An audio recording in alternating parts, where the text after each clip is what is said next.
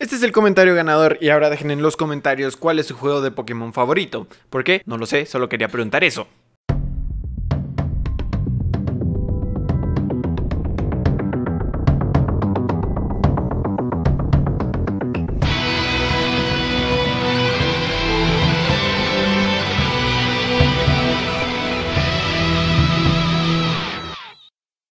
Amigos del internet, bienvenidos a un nuevo rapidito, o sea un nuevo video muy veloz En el cual vamos a estar discutiendo todo lo que se ha filtrado sobre Mecha Godzilla El cual obviamente va a aparecer en la película de Godzilla vs King Kong. Hago esto porque he visto muchos comentarios diciendo que Uy, Mecha Godzilla solo es una teoría, es como el Spider-Verse Y créanme, yo creo que el Spider-Verse no va a existir, no es verdad Tal vez en el futuro lo vamos a ver, pero en la película de Spider-Man 3 no creo que vaya a salir. Y si sale voy a quedar así. Como sea amigos, adentrémonos en el mundo de filtraciones y spoilers para Godzilla vs King Kong. Y si ustedes no quieren saber nada sobre la película y quieren llegar bien fresquecitos y deliciosos a su casa porque no, no vamos a poder ir al cine, pues no vean este video y entonces miren mi video de 71 Kaijus con versión mecha que hice hace unos días. Ok, comencemos por el principio. Allá atrás en el 2020, cuando todavía se iba a estrenar la película en cines, se filtraron estas fotos de la feria de juguetes más grande del mundo en donde presentaron varios Kaijus que iban a aparecer en la película de Godzilla vs. Kong y entre estos estaba Mechagodzilla y Ultra Godzilla. En ese entonces no sabíamos bien si estos eran solo juguetes promocionales o si de verdad iba a aparecer un nuevo Mecha Godzilla dentro de la película, pero con el tiempo se fueron revelando más cosas y todo apuntaba de que Godzilla y Kong iban a converger en una pelea contra un Mega Kaiju al final y parecía que iba a ser Mecha Godzilla. Luego se estrenó el primer trailer de Godzilla vs Kong,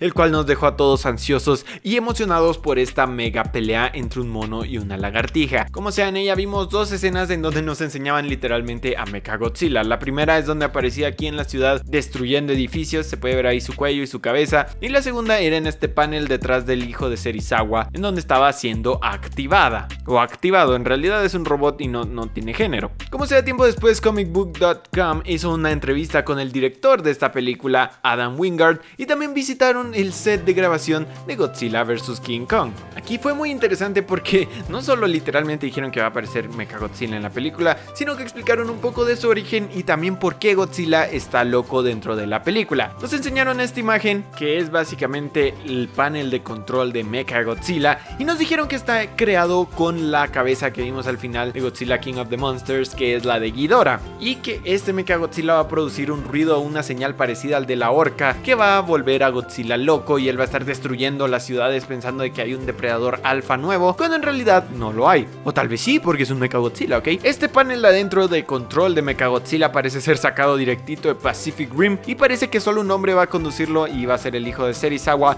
pero siento que el material genético de Ghidorah va a tomar control sobre este cuerpo mecánico y pues va a haber un alboroto al final de la película. Como sea, el más reciente leak o filtración fue este de aquí que es la marca de Hedira Clothing, que son los responsables de hacer todo el merchandising de Godzilla, filtraron estas fotos de aquí, o sea, las publicaron, en donde podemos ver el diseño de Mechagodzilla en su full gloria, que podemos ver ahí sus manos dando y el logo de Mechagodzilla ahí en el fondo. Chicos, esta es nuestra mayor confirmación de que Mechagodzilla va a aparecer en la película y que va a tener un look súper genial, incluso un nuevo logo. Y sí, hay otra filtración que es la de los Funko Pop, pero eh, esta es más o menos complicada, ya que este papelito que vemos aquí no está fuera de la caja de los Funko Pop, sino que está adentro y cuando recibías tus Funkos de Godzilla vs. Kong, te venía la sorpresa de que va a haber otro de Mechagodzilla. Ok chicos, eso fue todo. Espero haya convencido a alguien de que sí es real, de que Mechagodzilla va a aparecer. Y díganme ustedes, ¿van a comprar las figuras? Yo, por supuesto que sí. ¿Están emocionados?